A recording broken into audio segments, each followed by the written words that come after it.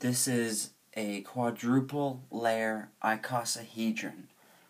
It has 20 sides and it is four layers deep.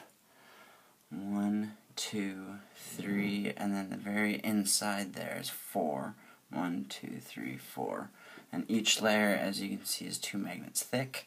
This is 21 sets of Zen magnets. As you can see, I just ran out, so there, there's two rows there of green, but that's okay. This is 21 sets.